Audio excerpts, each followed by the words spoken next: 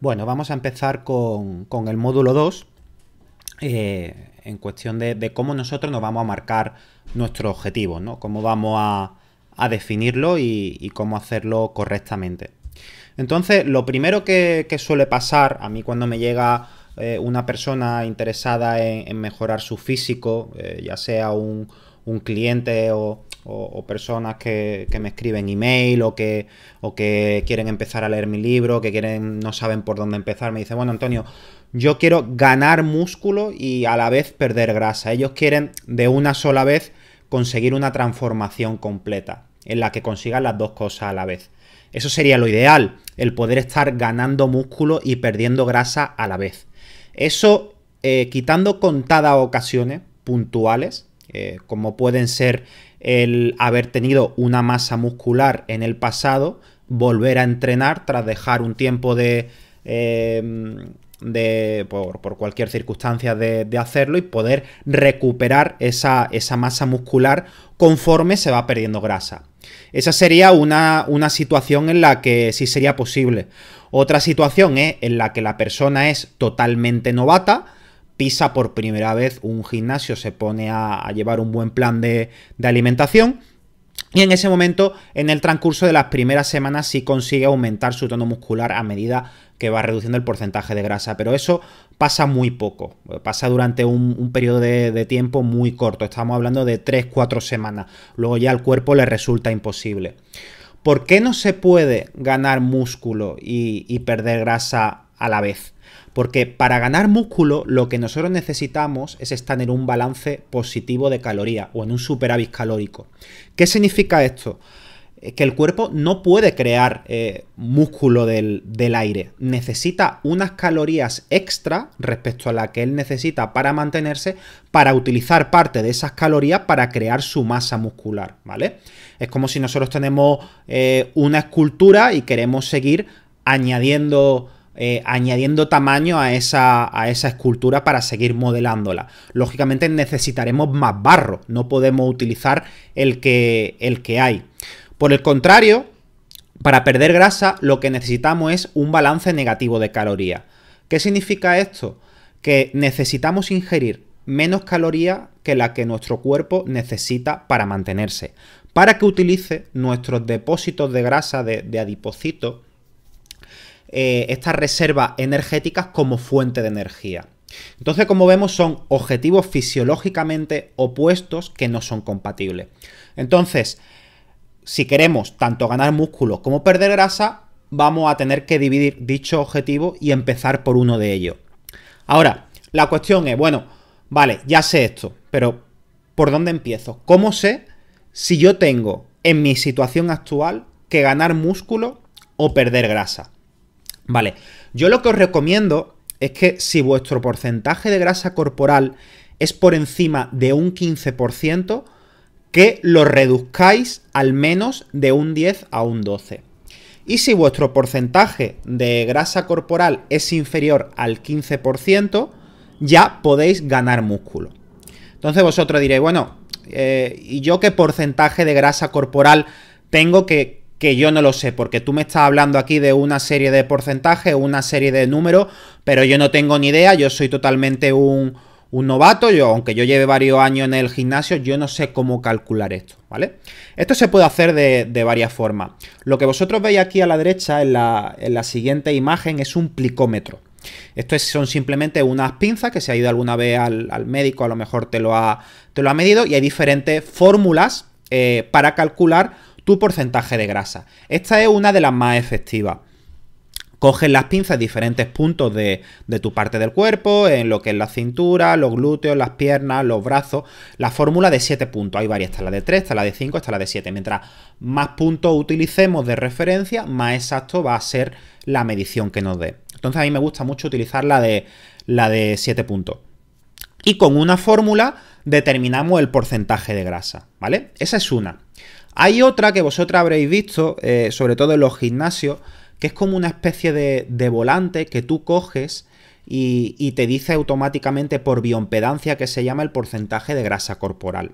Esto lo que hace es recorre una pequeña corriente de un extremo al otro de tu cuerpo, por eso tienes que agarrarlo con las manos, y dependiendo del tiempo que tarde, te va a decir el porcentaje de, grasa que tienes. ¿Qué problema tiene esto? Que dependiendo de cómo hayas asimilado, asimilado, los alimentos ese día, de si has bebido agua, de si has bebido un batido de proteína o un batido de hidrato o una combinación de ambos, te va a dar valores totalmente diferentes y no es nada fiable, ¿vale? Entonces cuando vosotros si estáis en un gimnasio o veis alguna máquina de esta, venga, vamos a medir el porcentaje de grasa corporal, no te fíes de esa máquina, porque no es fiable ni vale para nada, ¿vale? Eh, te puede servir para eh, variaciones a lo largo del tiempo, pero como, como valor absoluto no es nada fiable, ¿vale? De todas formas, eh, no te preocupes porque no hace falta que estés con el plicómetro ni que estés con una bioimpedancia para nuestro objetivo eh, que no va.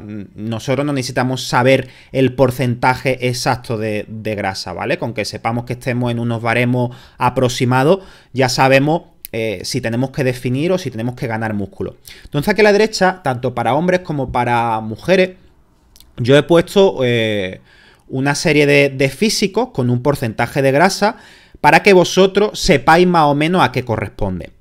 En el caso de los hombres, eh, como veis, un 8% de grasa, para que os hagáis una idea, es una persona que se le ven totalmente los abdominales, que incluso tiene venas ya en, la zona media, en los brazos, eh, en las piernas, un nivel de porcentaje de grasa muy bajo. Prácticamente a eso es lo que está un, competidor de fitness, un competidor de, culturismo a pocas semanas de, de competir.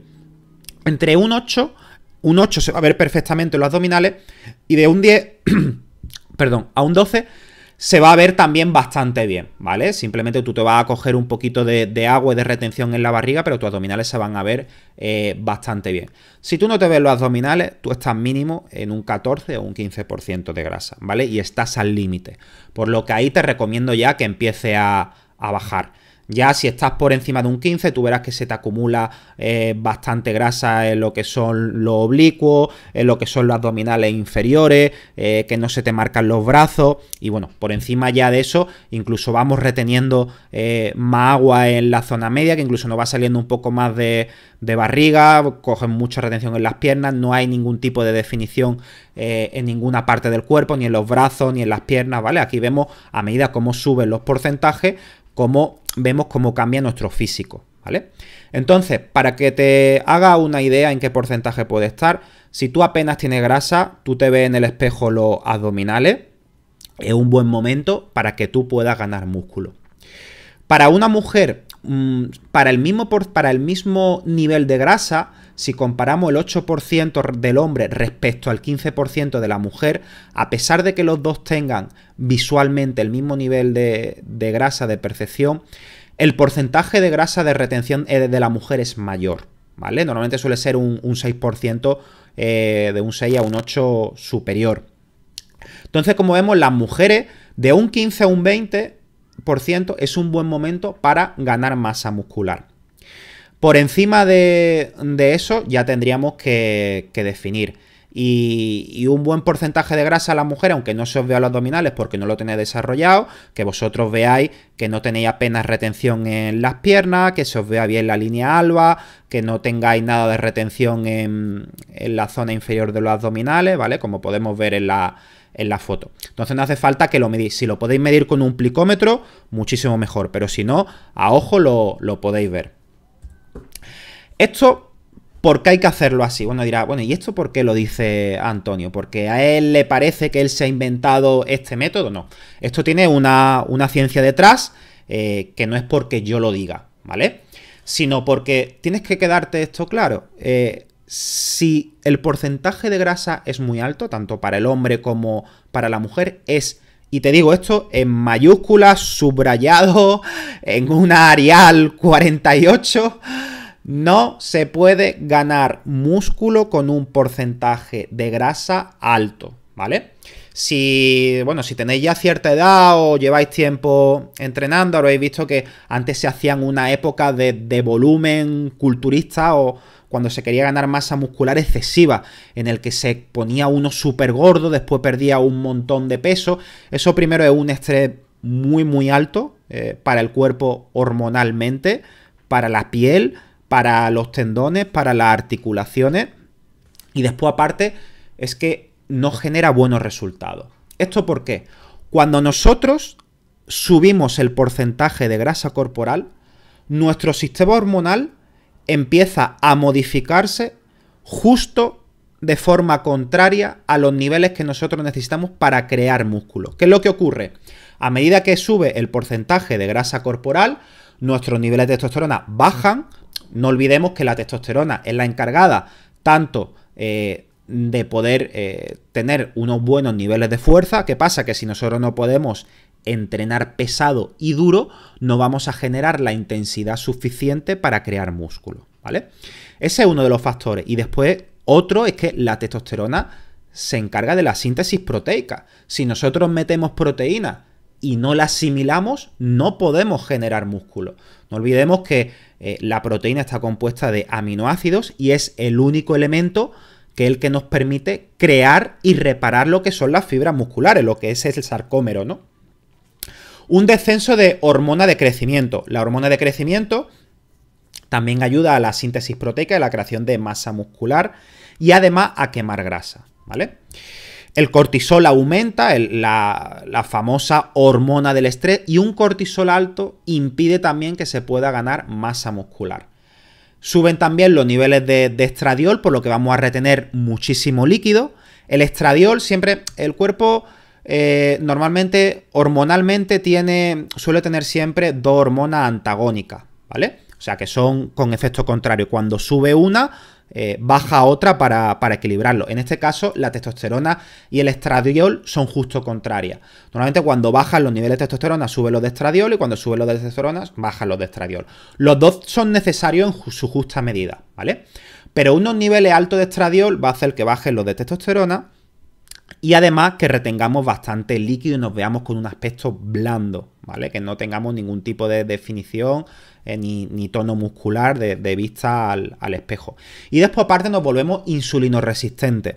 ¿Qué significa esto? Que los hidratos que nosotros ingiramos para recuperar el glucógeno muscular, tras el entrenamiento, el glucógeno muscular es la energía que se almacena en el músculo para nosotros poder eh, andar, levantar una pesa, un eh, eh, realizar cualquier actividad física, como puede ser correr. Entonces, si nosotros esos hidratos, por una resistencia a la insulina, no somos capaces de asimilarlo correctamente, vamos a tener peor recuperaciones, no vamos a poder entrenar tan intensamente, nos va a engordar más la comida y no olvidemos que la insulina no trabaja sobre los hidratos, también tiene un efecto sobre la, asimilación proteica. Tampoco vamos a poder asimilar bien la proteína si somos insulinoresistentes. Y esto se produce a medida que nuestro porcentaje de grasa corporal aumenta. Así que eh, fíjate lo importante que es tener un porcentaje de grasa corporal óptimo para empezar a ganar músculo. A mí me llegan muchos clientes que a lo mejor están en un 15 o incluso un 20% de grasa y me dicen, no, no, no, yo quiero ganar músculo, yo no quiero definir porque yo me veo, yo me veo muy pequeño, yo mm, mido un 80 y peso 75 kilos, que es poco, pero a lo mejor tienen 75 kilos, tienen poca masa muscular y tienen barriga. Me dicen, yo quiero ganar músculo, Antonio, ya, yo no quiero definir, ya definiré más adelante. Y tengo que explicarle todo esto para decirle, mira, si nosotros empezamos ahora a intentar crear músculo, lo único que vamos a hacer es perder el tiempo. Porque nos vamos a tirar un montón de meses intentando crear músculo en un entorno hormonal que no es el adecuado. Es como si tienes un coche que está roto y quieres ganar una carrera con él. Primero tendrás que arreglarlo, ¿no? Pues entonces primero a esta persona la tenemos que poner a bajar el porcentaje de, grasa corporal y una vez ya que tenga un porcentaje de grasa corporal, hayamos estado un tiempo manteniendo el porcentaje de grasa corporal para evitar un rebote, ya ahí podemos empezar a ganar músculo. Y sobre todo que va a ser mucho más agradecido porque el peso muscular que ahora ganemos, nosotros vamos a ir viendo los cambios. Si tú empiezas con un porcentaje de grasa corporal y, mm, empiezas a ganar músculo, tú no vas a ver realmente qué cantidad de músculo estás añadiendo, ni cuánto porcentaje de grasa eh, y de músculo estás ganando del total del peso. ¿Por qué? Porque como tienes tantísima grasa, no eres capaz de diferenciar en el espejo qué parte es grasa y qué parte es músculo. Entonces, todos esos cambios eh, visuales que tú vas a ver con un porcentaje de grasa bajo es una ventaja muy buena para poder analizar tú tu resultado y si lo estás haciendo bien y si lo estás haciendo mal. Lo que sí que tenemos que, asumir es que si queremos ganar eh, músculo, un poquito de retención y de grasa se va a ganar. A mí me llegan clientes y yo lo primero que le digo es esto porque ellos siempre dicen, yo quiero ganar músculo, pero no quiero ganar grasa. Efectivamente, eso es el entorno ideal, pero eso es totalmente imposible. Si hay que intentar que la mayor parte de lo que se gane eh, sea músculo, pero eh, hay que asumir que un mínimo de porcentaje de retención y de, y de grasa se va, se va, a ganar en el proceso. Por muy bien que calculemos nosotros la, las calorías, el cuerpo de esas calorías, el 100% no la utiliza para el músculo. es fisiológicamente así, si no sería una máquina perfecta en el que nosotros le indicáramos de todo lo que coma, utilízalo para crear músculo, pero el cuerpo lo utiliza para otras funciones, no aprovecha el 100% de la comida, lo asimila como tejido adiposo, otro porcentaje lo, excreta a través de la, de la orina y lo desecha o, o, a través de, de la heces, ¿no? Entonces, eh, esto hay que asumirlo. Por muy bien que nosotros hagamos las cuentas, por, mucho, por muy bien que lo hagamos, siempre un mínimo de porcentaje de grasa corporal se va a aumentar. Entonces, razón de más para que empecemos con un porcentaje de grasa muy bajo. Porque imagínate, si ya de por sí, para ganar músculo, vamos a ganar un poco de grasa, si empezamos con un porcentaje de grasa, para después definir y quitar todos esos kilos de, de grasa, va a costar muchísimas semanas y muchísimos meses. Entonces hay que ser consciente que si queremos ganar músculo, un mínimo de grasa, hay que ganar. Ahora, la cuestión es, ¿cuánta grasa debemos permitirnos como máximo ganar? Si ganamos, nosotros nos ponemos una meta de un kilo por mes de peso corporal, al menos como mínimo debemos exigir que la mitad sea músculo. A mí me gusta que un 60, un 70% sea de músculo y el resto sea de retención y de, de grasa, ¿vale? Que, más adelante se elimina de forma muy fácil. Entonces, eh, hasta aquí hemos llegado con, el, con la parte de, cómo ganar músculo y, perder grasa eh, a la vez. Espero que haya entendido perfectamente los por qué, tanto de por qué debes empezar con un porcentaje de, de grasa muy bajo para ganar músculo y si tienes un porcentaje de, grasa alto, que primero debes bajarlo. Que sepas eh, por qué hormonalmente esto es así, que sepas identificar tu, porcentaje de grasa y sobre todo que asuma que una mínima ganancia de grasa corporal vas a, tener que, ganar en el proceso de, creación de masa muscular. Así que eh, mentalízate de todo esto, asimílalo, apúntalo eh, sé consciente, ponlo en práctica y te veo en el siguiente vídeo.